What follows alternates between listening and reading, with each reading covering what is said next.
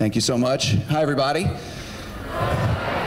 Happy to be here today. Thanks for having me. Uh, I am Jeff Small. I'm the president and chief operating officer of DreamWorks Studios. Um, before I start, hold on, if you guys will just indulge me for two seconds. I need to take a picture. this is so my mother will actually believe that I do this.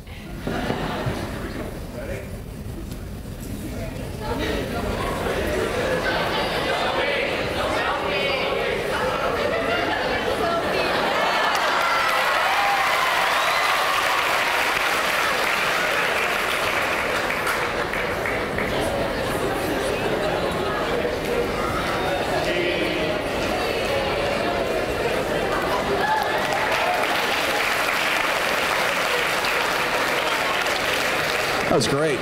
Okay, good. I'm sure that will be uh, suitable for framing. Um, okay, so uh, I work for DreamWorks Studios. Uh, DreamWorks Studios is the live action company. We make movies and television.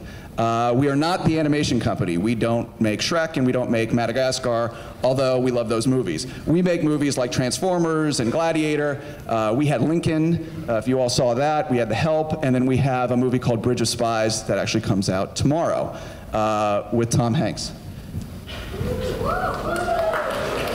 Um, we also do some television too, but we're going we're gonna talk about movies today. We do television shows like The Americans and Falling Skies and Under the Dome, if you all have ever seen those. But again, today we're going to talk a little bit about uh, the movie business. And what I thought I would do is um, I tell you a little bit about me, uh, how I got here, why I do what I do, uh, and then we'll kind of launch into the movie business. Just a little bit about how movies get made, um, why they get made, why they work, why they don't, etc. So let's, uh, if you'll bear with me, let's start there. Who am I? I ask, me, I ask myself that question every morning when I get up. This is where it all started, the state of Georgia.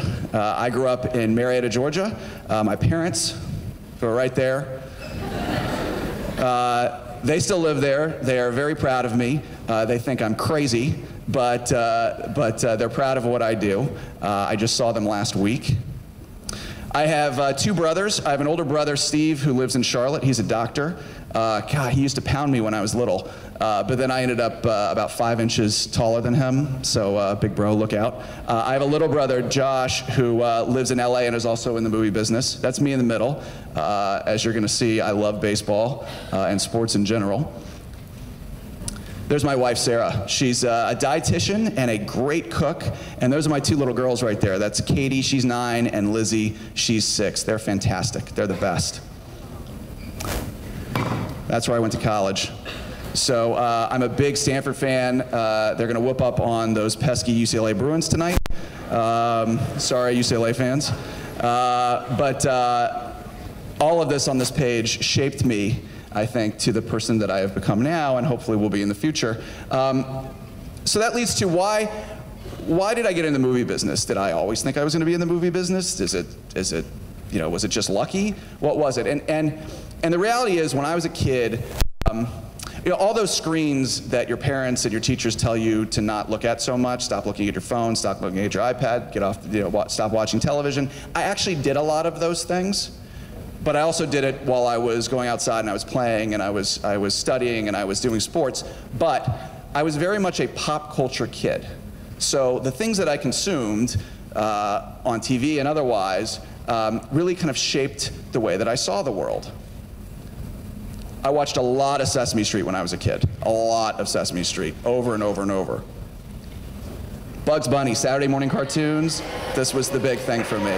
My, my older brother and I used to sit in front of the television on Saturday mornings and eat cereal and, and watch a lot of Bugs Bunny. All right. Yeah, Atari 2600. Okay, that may be a little before your time, but I was, I was pretty mean at it.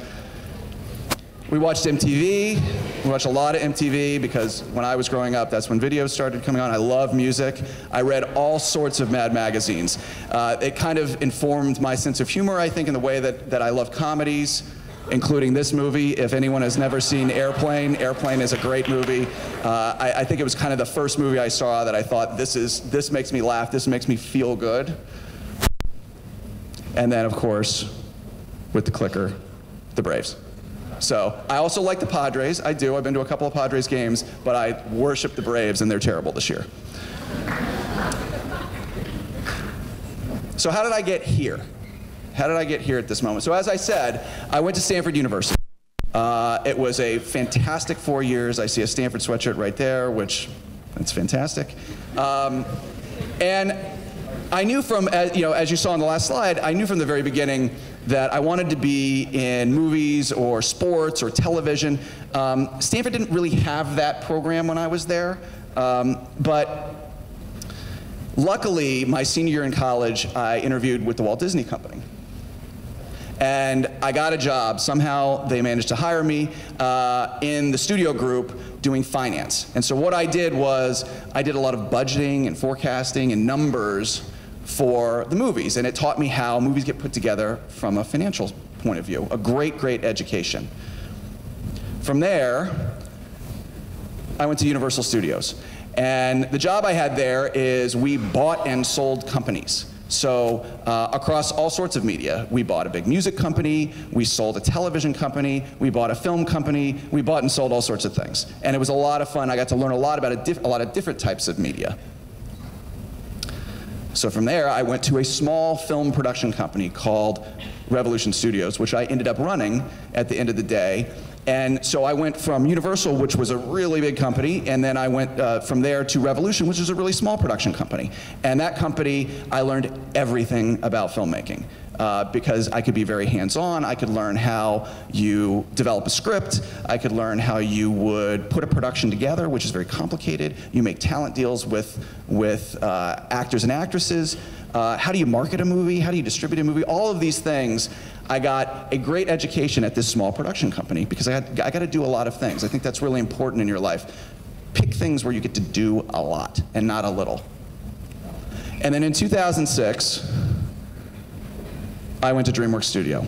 Uh, DreamWorks Studios, where I am, again, the chief operating officer, and I work for that guy. So, um, what do I do? I, uh, as Bill is saying, I it's kind of all of the operations of the studio run up through me. So again, if it's a talent deal that we have to make with an actor, if it's uh, putting a budget together for a film, how much it's going to cost, I oversee the marketing. Uh, I oversee the physical production, which is a lot of logistics of how you put a movie together.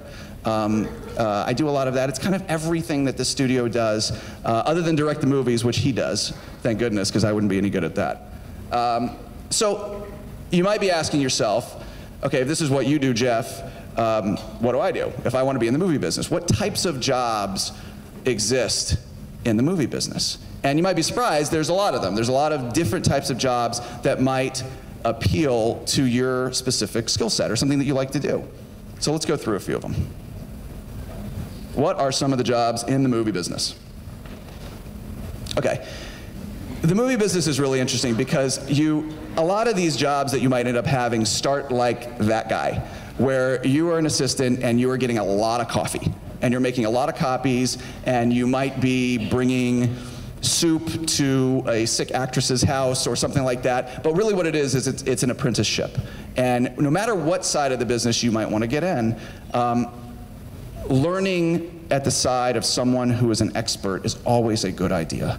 And that's really what this guy is doing, even though he's got all that coffee. Maybe you're a great writer.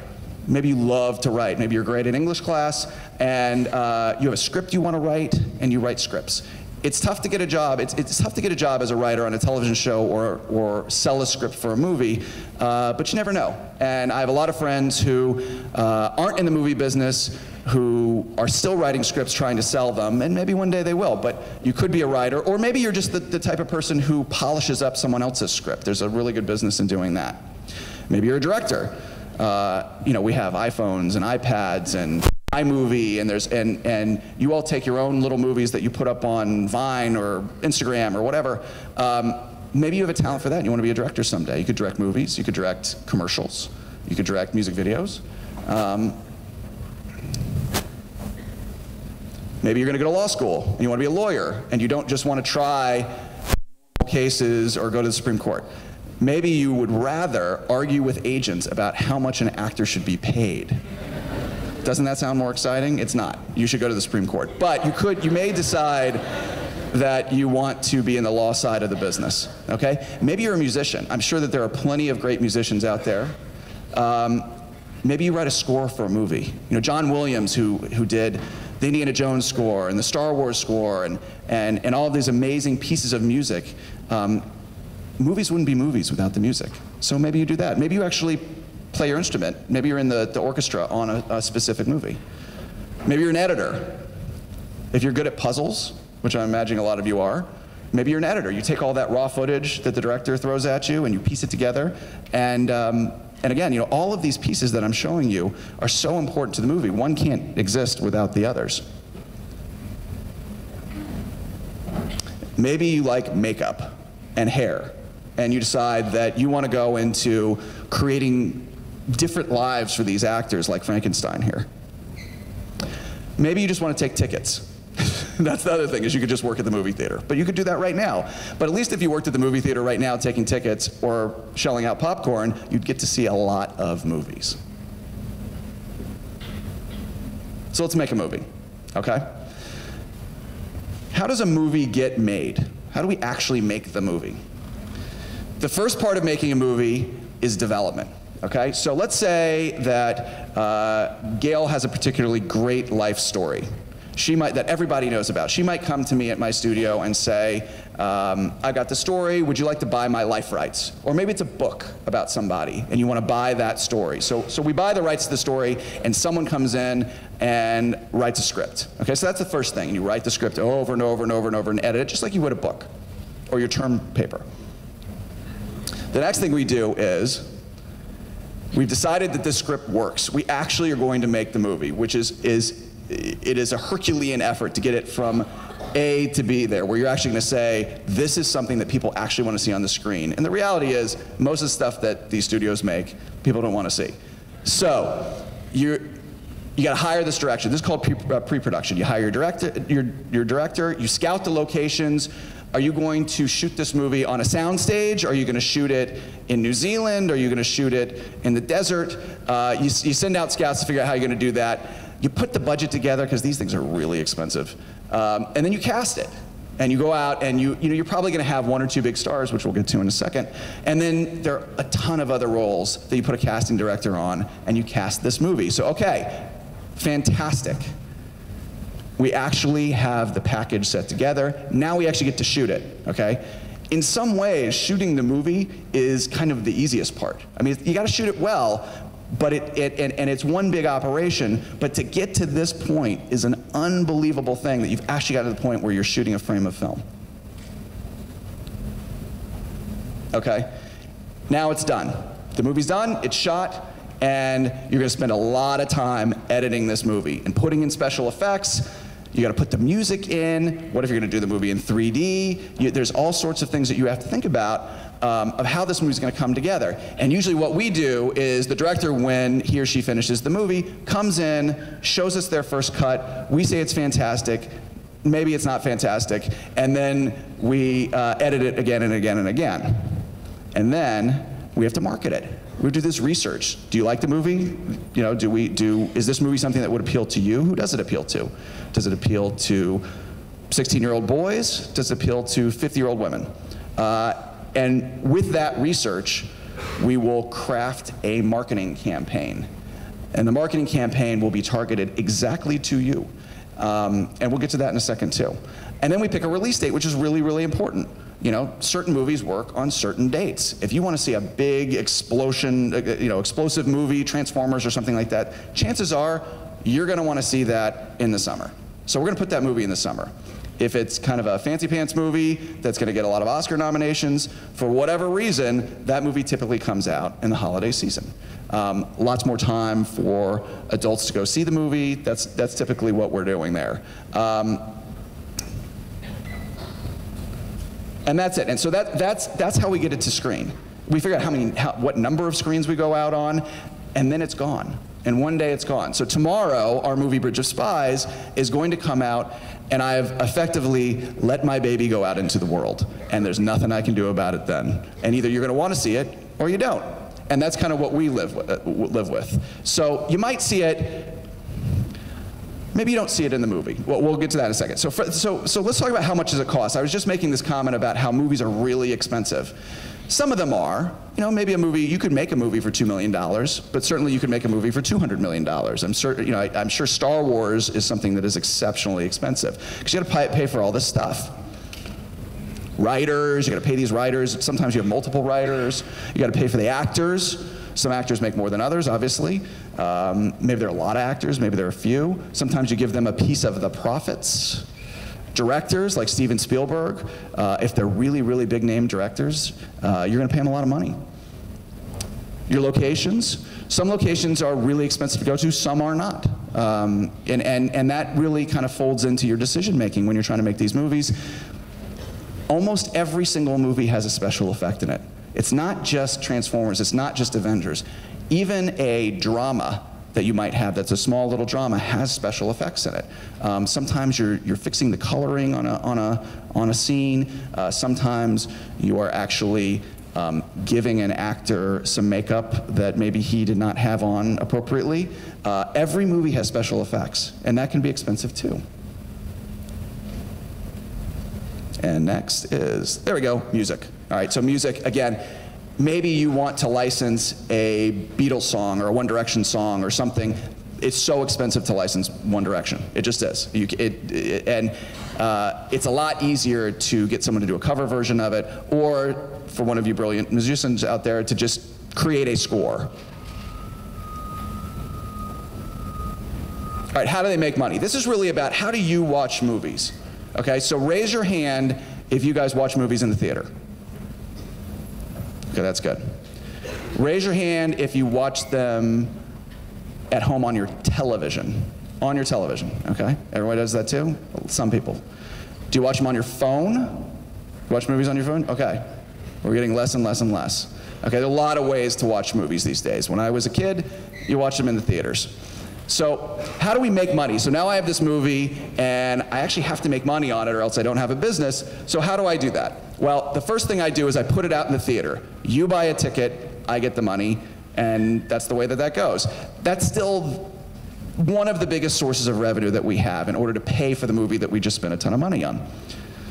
Believe it or not, we make a fair amount of money on things that we call non theatrical. It's like when you're on an airplane and you watch a movie, they pay for the airline pays for that army bases, cruise ships, prisons, but none of you are going to watch one in a prison. Okay? Then there's home entertainment. Okay, this is when you watch it at home, right? You, you either get it on electronic sell through, which is like you watch it on iTunes, you get a movie on iTunes. Um, DVD and Blu-ray, which you get some of those too. Uh, sometimes you have, let's say you have DirecTV at home and you can do it on pay-per-view. And then later on on television, if it's Channel 9, five years from now, you'll be clicking around, you'll see one of your favorite movies, and you'll watch it. And then, of course, there's merchandise. And this is few and far between. You might buy a t shirt of your favorite movie. I'm sure some of you have Twilight something out there. Um, so that's a way we make money, too. Okay. What makes a movie successful? This is really the challenge that I have to deal with every single day because tastes change. You might like a type of movie today that you didn't like yesterday. And, and in fact, what makes you want to see a movie? Someone raise their hand. What, what, what do you see that makes you want to see a movie? Anybody? Someone raise their hand? Anybody? Right here. So you see a trailer, okay. Anyone else? Anyone else? Right up there, blue. Something that makes you laugh. Something, okay, so you like comedies. You like comedies. What else would make you want to see it in the white shirt up there? So it's a, it's a little louder.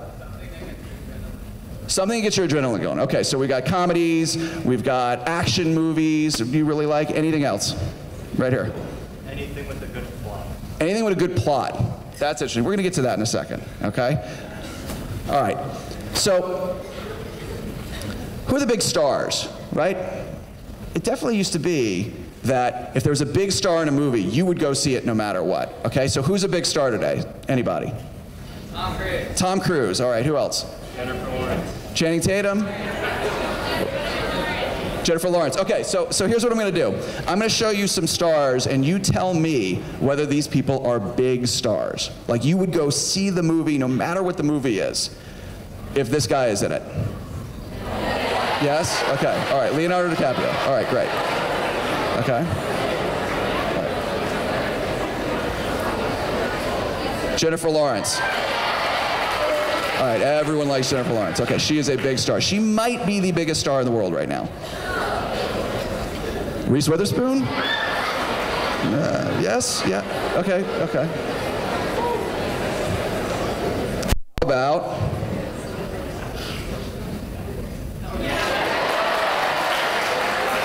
Okay, all right. Okay. You know, there used to be this joke that we would have around town that if you put a movie with Will Smith reading the phone book, you could make a lot of money. That's how popular he was. Emma Watson? Okay. You guys like Emma Watson? Okay. She's pretty popular. All that Harry Potter? How about this guy? No, no Robert Pattinson. I'm surprised by that, okay? I mean, he looks like a movie star. Okay, so so so here's the situation with the movie stars. Back when I was a kid, when I was your age, it used to be that any movie with a big star, everybody would go to. So Tom Cruise, it was a Tom Cruise movie, or Mel Gibson, or Clint Eastwood.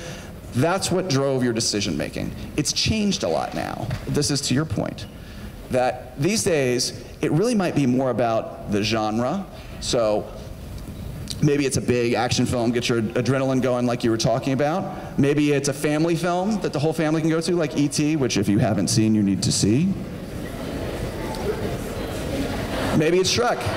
Maybe it's an animated movie, right? People like Shrek. Maybe it's Iron Man. People love these Marvel movies, the superhero movies.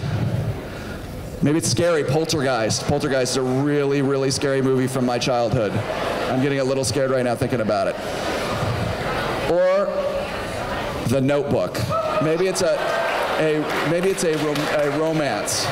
Okay? But the point here the point here is that people are making their decisions. You are making your decisions to see movies less about stars, even if you like them, and more about what the movie is about. And this is this is very different. You're also doing it based on a pre-existing brand. You read those Harry Potter books, so you went to see the movie. Star Wars is literally the biggest brand ever. Okay? Twilight was also a big book, and once you have that first Twilight movie, everybody goes and sees the rest of them. Okay? Avengers, right. Same deal. Superheroes, they always win. Okay? And then Lord of the Rings. Lord of the Rings being, I think, behind the Bible, the biggest selling book of all time. Okay? So, now that we've established that you're going to probably make your decision whether to see a movie or not based on not necessarily the actor, maybe the genre, but it's really what it's what it's about. You know, you're going to find it yourself, and that's the best way to find a movie. Find out, learn about the movie as much as you can. What's it about? Um, uh, you know, is there a historical context to it? Is it about it? Is there a character in it that I've loved from my childhood?